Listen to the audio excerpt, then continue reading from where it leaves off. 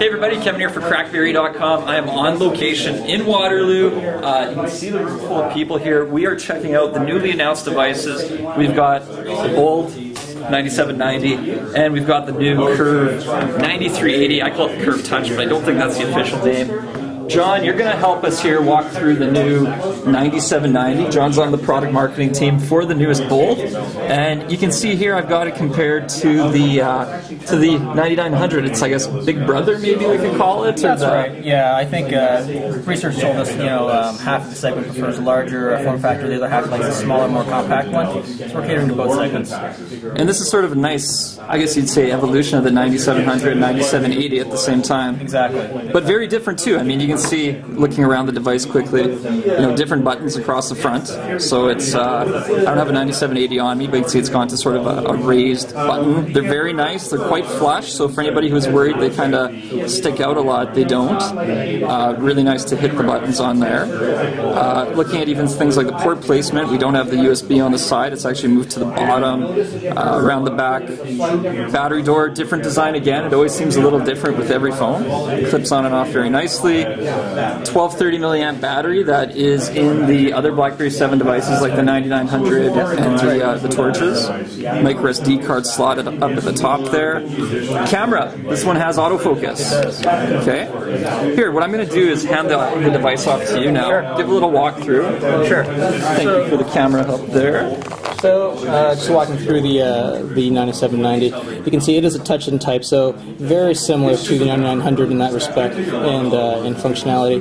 The only key difference is obviously the fact that uh, this is smaller. So let's take a look at uh, some of, some of the uh, the functionality of it. If we go into, do we have to do? I hope we do.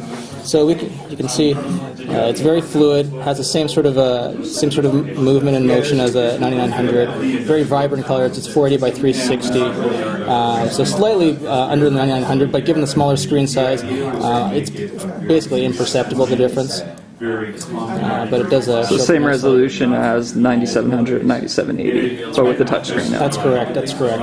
And so uh, I think you pretty much nailed it on the head. This really is the evolution of the 97 uh, 97 we've got the light up trackpad which is very nice. People will be happy about that. That's right.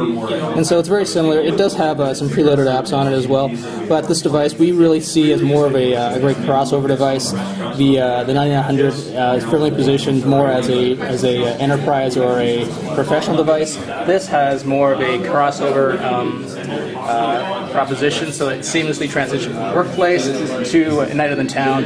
And because of the small form factor, we think it may cater more and feel more to uh, the female uh, consumer as well. Right. So that's another uh, another opportunity for us. I could see Miss Crackberry maybe preferring this one over her 9900 yeah, actually. Definitely, definitely, that's the case. Now, under the hood, it's not the Qualcomm chipset that's in the 9900. This is Marvell. That's right. It's a Marvell one gig.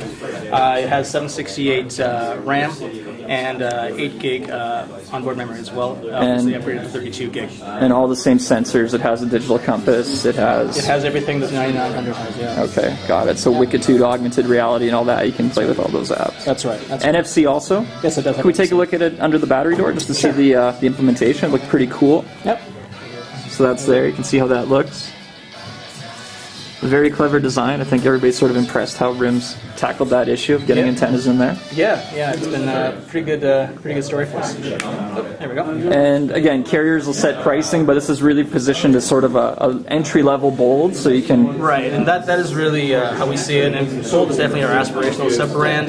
We set, we set the bar high with the 900. This now comes in slotted underneath that. Uh, we hope the uh, carriers follow suit with that, and we think it'll be a great entry point to the bold sub brand. Sub brand. I just want to finish up with again nice little look here comparing sort of the two devices side by side. So quite a different footprint if you really think about it. I mean, it's uh, it's funny how you forget sort of how big the 9900 is once you use it, and then this is a really compact device in 9790. Our competitive intelligence folks tell us that. Um, the uh, 9790 is, is the most compact in volume of all uh, Touch Plus type devices in the world. So. I don't doubt that. It's very. Uh,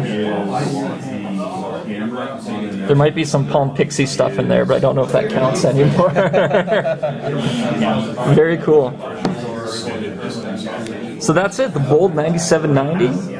If you want a compact bold that doesn't really compromise on performance at all, plus autofocus on that camera, which the 9900 does not have. Correct. Uh, battery life, do you know if there's any sort of difference between the two? Have you guys noticed? Is this uh, Yes. comparable, a little better even? No, it's about the same. Um, I, I know even up until now, they're still continually working on uh, optimizing the battery, the battery performance with, uh, with software bundles. So But would you know just having a smaller display slightly it should take less. Yeah. So okay, so it should maybe get better battery life if you have concerns of battery life on the 9900. Yep. Good stuff. Uh, yeah, I'll have to put those head to head. That's uh, that'll be an interesting test. Very cool. BlackBerry DNA going strong. Nice update to the bold, and a nice a nice pairing here too. We actually have two sort of bolds in market current at the same time, both catering to a slightly different audience. Very cool. That's it. Kevin out. Thanks, John. All right. Thanks.